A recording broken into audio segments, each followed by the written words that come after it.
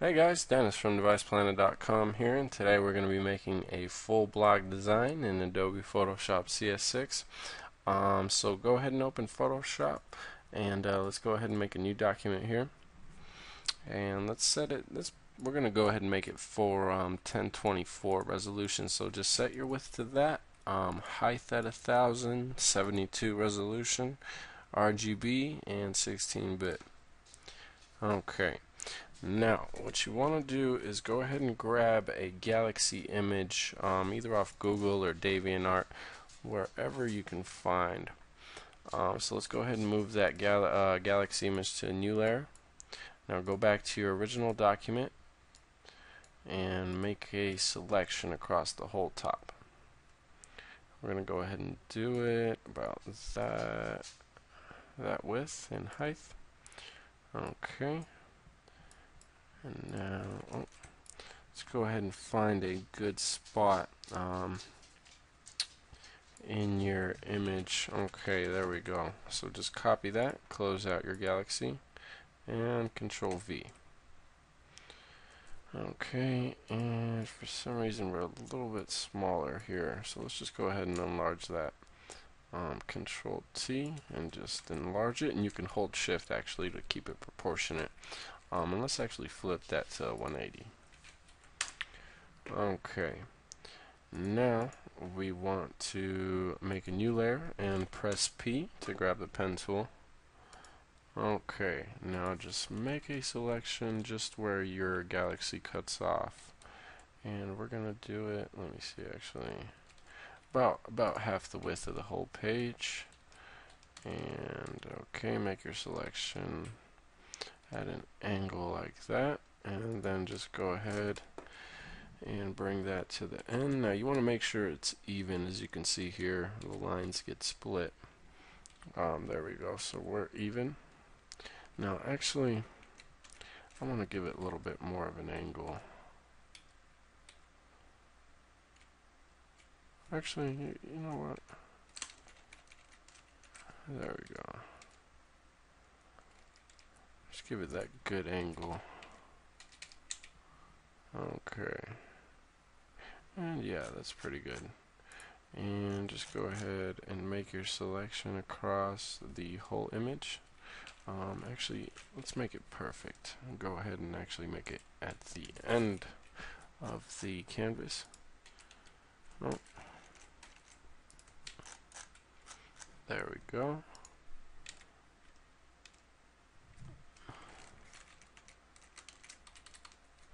Okay.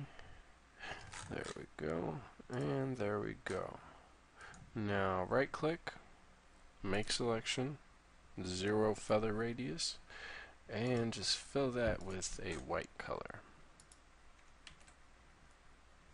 Oh, and actually I think it looks, no actually we're looking even and we just have a little bit of, um,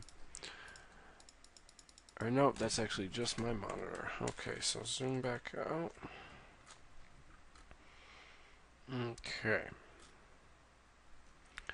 Now let's actually go ahead and shift our selection to the left a little bit.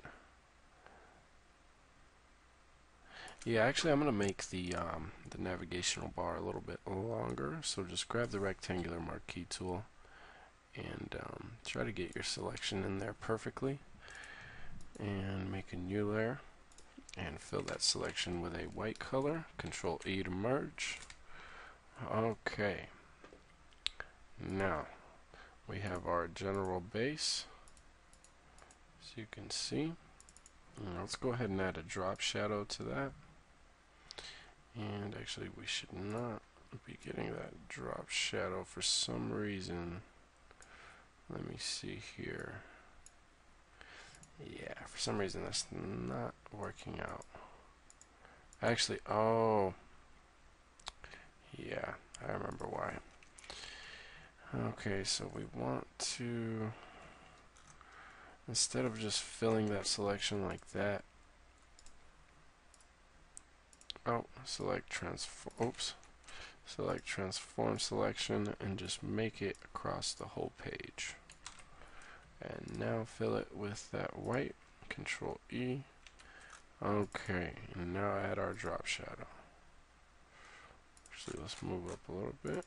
Drop shadow.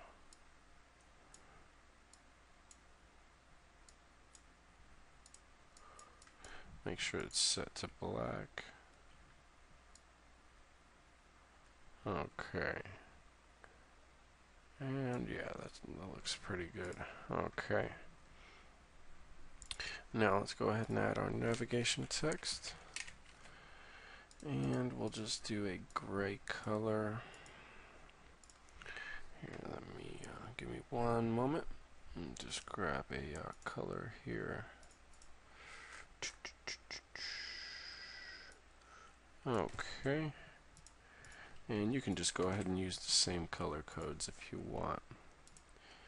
Oh, actually, let's make that a little bit darker. A little bit darker. Okay. So yeah, 14 we're good. Okay, now add. Try to keep uh, the spaces between your um, your navigational links um, the same. So what I do is I just use the spacebar and then I copy the spaces. Um, let's do about us. Oops. Portfolio services. Uh, the team. And let's do blog and contact. Okay.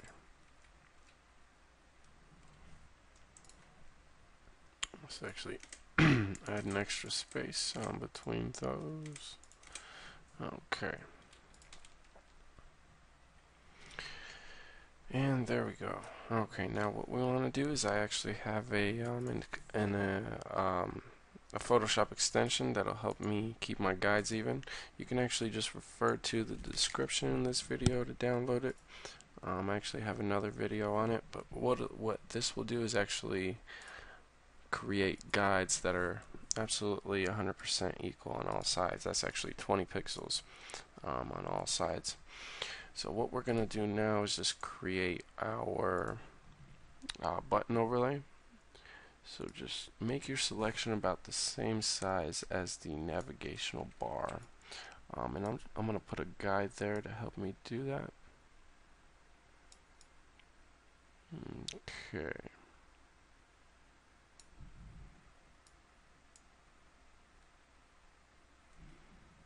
Okay. Now go to select, transform selection, make your selection a little bit higher um, than the navigational bar. Now make sure you have a new layer. Okay. Now fill that layer with a bright color. Um, we're just going to use this kind of pinkish reddish color. Okay. Now add a gradient overlay to that. Set it to overlay. And just drop the opacity. Okay, now you want to make sure your navigational text um, on the overlay is white. Okay, so just duplicate that text layer. Um, move the one below it down and to the right one pixel. And then um, do a color overlay of black on there. Okay. Now hide the top layer and delete all the text. Just leave a home um, text layer. Okay, and now just go back to that layer and drop the opacity.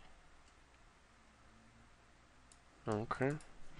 Now we're going to give it um, the overlay button kind of like a 3D look, so just go click on that um, layer, then just zoom in and make a new layer.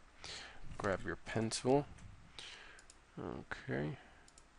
And let's see if we get a good effect here. Okay, make selection, right click, make selection. Okay, and let's try a darker color.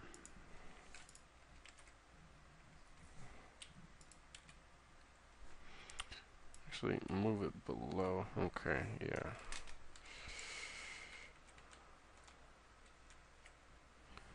Okay, now we're getting kind of like a 3D effect. Um, actually what I want to do is shift it to the right I don't want it aligned like that perfectly.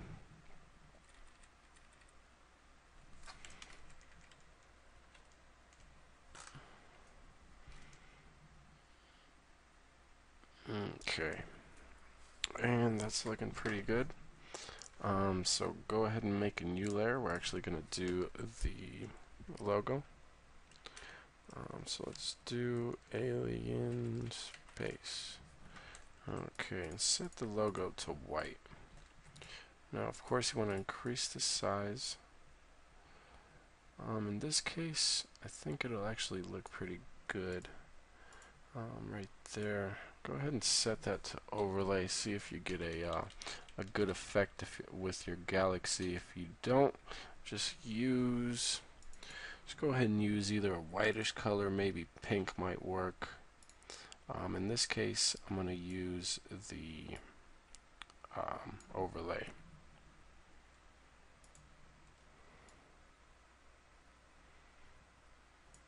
Now let's add a tagline.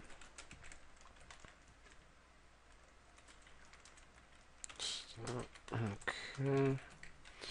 Just some, um, just some simple, just a simple tagline. And uh, this text uh, tool right here, the uh, the settings button, you can actually control all text settings um, with that button. And uh, oh, actually, let's set it to okay. That's too much. So let's do a hundred. Okay, what about 95?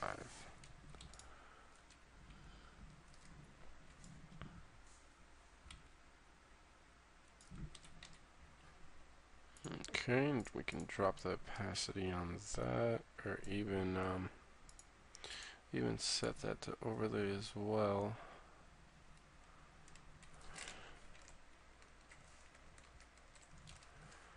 Okay, and what we can do is actually increase the size. Just kind of play around um, with your settings. Don't try to get the same effect that I have necessarily. Actually, that's pretty good like that. And then we'll do um, regular. No, we'll do bold, and then back to the text settings, we'll do it full caps. And we're going to do that at normal.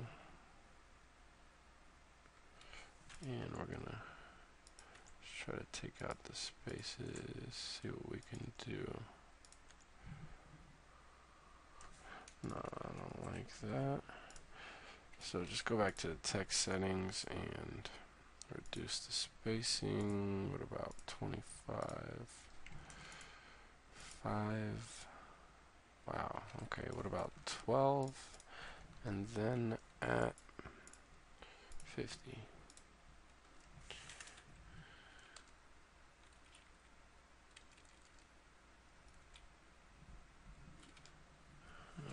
Okay. Control T, increase the size a little bit. Okay, and I like the way that looks. Let's maybe actually drop it down right there.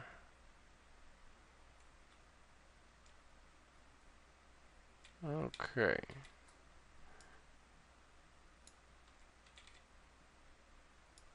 Okay. And we're looking pretty good so far. Um, so I'm going to go ahead and end part one of this tutorial and just go on to part two and um, we'll go ahead and continue where we left off. And um, check out Device Planet for all my other tutorials and subscribe as well. Okay.